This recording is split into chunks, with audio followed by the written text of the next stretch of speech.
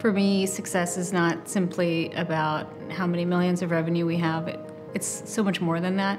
You know, I think the passion at the heart of what you do is is just as part of how you have a successful life or a meaningful life, much less a business. And then, you know, having the right people on your team to help kind of um, execute and translate your vision into a successful business is also paramount. And of course, there's you know the right market conditions and receptivity in the market and the ability to really provide something innovative and new um, that that really can make a business shine. And i think you know all of those things together have been really important for us at happy family